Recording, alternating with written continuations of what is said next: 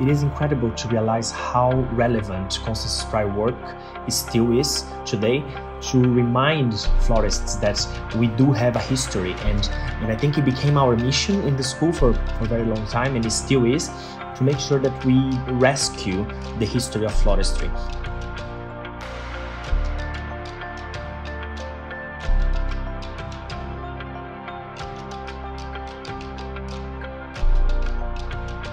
Her importance is not only from a design perspective, um, a lot more than flowers. There is a political layer to it, and uh, it is incredible. She is a constant place that I go for inspiration, and uh, she has inspired our students since the beginning of the school.